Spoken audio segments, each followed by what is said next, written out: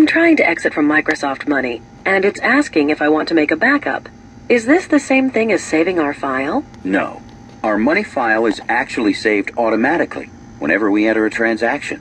And whenever we close money, it automatically makes a backup copy of our file on our hard disk. But every couple of weeks, or however often we want, Money will ask if we'd like to make a backup copy of our file on a floppy disk. That makes sense. So if something happens to one file, like it gets lost or corrupted for some reason, we have another file to fall back on. And if something happens to our computer's hard disk, we have a copy of our file on a floppy disk. Well, you and I both know it's always a good policy to have two or three copies of anything important. Right. Especially where our financial records are concerned.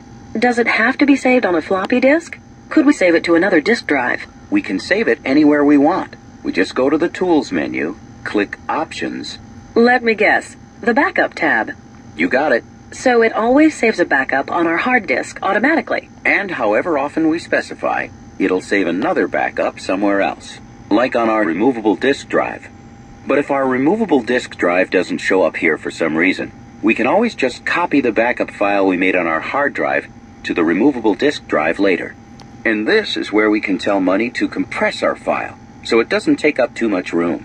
That's especially important if we decide to keep our backup files on a floppy disk. We click OK, and our file backup options are set the way we want.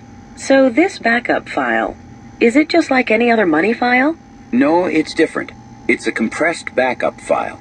If we want to open it, Money needs to decompress it to its normal size and then convert it to a regular Money file. So suppose, for whatever reason, we need to use our backup file. What would we do? First, we find the backup. If we're using a backup stored on our hard disk, we click Restore Backup on the File menu. Okay, and then click Restore from a backup file. And click Next. This is easy. It shows us where our backup file is and the last time it was changed. We can look at all the information to make sure it's the right file.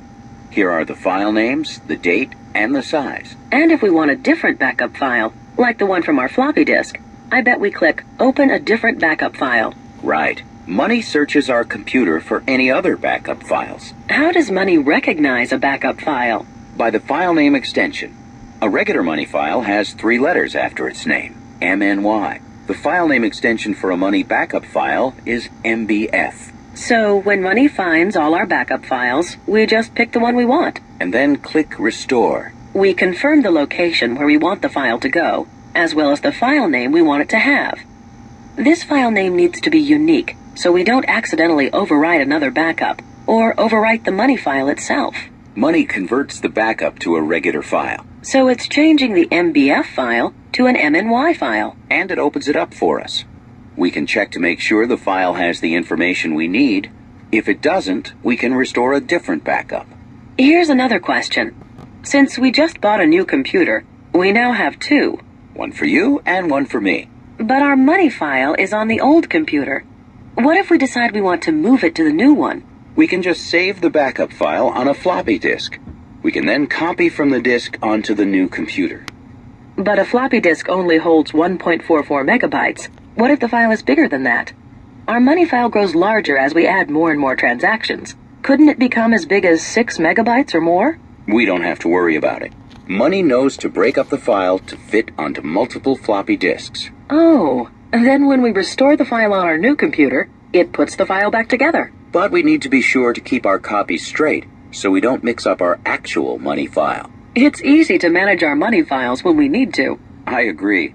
And with backup files, we can be sure that our information and money is safe and secure.